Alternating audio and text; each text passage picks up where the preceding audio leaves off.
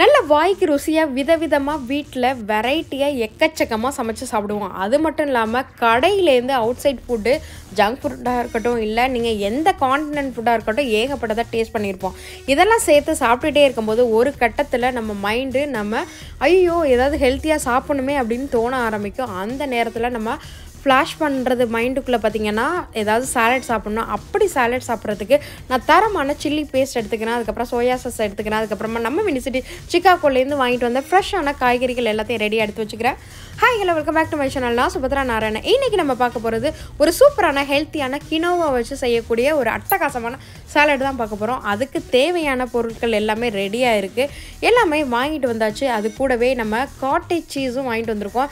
இந்த cottage cheese பார்த்திங்கன்னா ரொம்ப லோ கலோரி ரொம்பவே ஹெல்த்தியாக இருக்கும். ஃப்ரெஷ்ஷாக இருக்கும் க்ரீமியாக இருக்கும். இந்த சாலடோடு சேர்த்து சாப்பிடும்போது எப்படி பிரெட் வித் ஜாம் அப்படிலாம் சாப்பிடுவோம்ல அது மாதிரி இந்த சாலடோட சாப்பிடும்போது வேறு லெவலில் இருக்கும். அதுக்கு ஒரு பவுலில் ஒரு டீஸ்பூன் சில்லி பேஸ்ட் எடுத்துக்கிறேன். இந்த சில்லி பேஸ்ட்டோட பொடியாக நறுக்குன பூண்டு ஒரு டீஸ்பூன் சேர்த்துக்கிறேன்.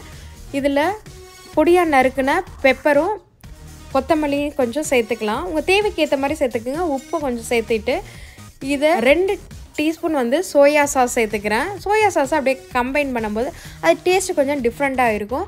அதுக்கப்புறமா நம்ம க்ரஷ் பண்ண ரெட் பெப்பர் இருக்குல்ல வரமிளகாவை அப்படியே பொடியாக பண்ணதையும் அது கூட அரை மூடி ஒரு பெரிய எலுமிச்சம்பழத்தோட சாறு சேர்த்துக்கிறேன். உங்ககிட்ட சின்ன பழமாக இருந்துச்சுன்னா அதை வந்து நீங்கள் முழுசாக எடுத்துக்கோங்க.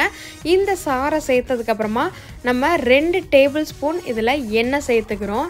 இது எல்லாத்தையும் சேர்த்து நம்ம ஃப்ரெஷ்ஷாகவே சாஸ் ரெடி பண்ணுறோம் ஸோ இது எல்லாத்தையும் சேர்த்து நல்லா கம்பைன் பண்ணிக்கலாம். ஒரு நல்ல க்ளீன் ஸ்பூன் எடுத்து இது எல்லாத்தையும் அந்த சில்லி பேஸ்ட்டு அந்த ஆயில் சோயா சாஸில் அப்படியே முழுமையாக கரையிற அளவுக்கு நல்லா கிளறி விட்டுக்குங்க. இல்லைன்னா அப்படியே திக்காக ஒரே இடத்துல இருக்கும். இந்த சாஸு ஃப்ரெஷ்ஷாகவும் இருக்கும் நல்லா ஒரு மாதிரி கொஞ்சம் ஸ்பைசி கொடுக்கும். ஒரு பஞ்ச் ஒரு நல்ல பஞ்ச் இருக்கும். இது அப்படியே நான் தனியாக எடுத்து வச்சுக்கிறேன். இப்போ நம்மளோட ஃப்ரெஷ்ஷாக ரெடி பண்ண ஹோம்மேட் சாஸ் ரெடி ஆகிடுச்சு தனியாக எடுத்து வச்சுக்கலாம். அதுக்கப்புறமா ஒரு பவுலில் அரை கப் வேக வச்ச கினோவா ரைஸ் எடுத்துக்கிறேன். நல்ல ஃப்ரெஷ்ஷான வெள்ளரிக்காயில் ஒரு கால் கப் நறுக்கி சேர்த்துக்கிறேன்.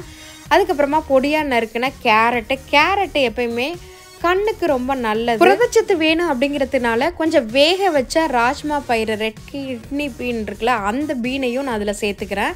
அதுக்கப்புறமா பொடியாக நறுக்குன சுக்கினியில் கொஞ்சம் சீரகத்தூள் மிளகாய்த்தூள் மல்லித்தூள் உப்பு எல்லாத்தையும் சேர்த்து நல்லா சாட் பண்ணி அதையும் சேர்த்துக்கிறேன்.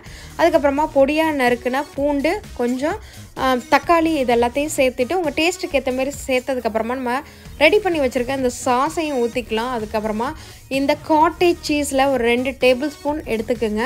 அதை மேலே வச்சு அதுக்கு மேலே அப்படியே இந்த சாஸ் இருக்கு இல்லையா அந்த அப்படியே பார்க்குறதுக்கே செக்கச்சவேன்னு இருக்குல்ல இந்த சாஸையும் வச்சு எல்லாம் நல்லா மிக்ஸ் பண்ணி சாப்பிட்டு பாருங்கள் டேஸ்ட்டு வேறு லெவலில் இருக்கும். நல்ல பஞ்ச் கொடுக்கும்.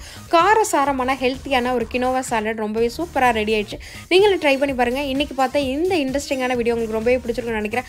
மீண்டும் வேறு ஒரு சூப்பரான வீடியோவில் உங்கள் எல்லாரையும் சந்திக்கிறேன். அனில் தன் தனிகள் Subhadra Narayan Shekhar bye bye Thanks for watching. Now please like, subscribe, and share the video. See you next time. Bye.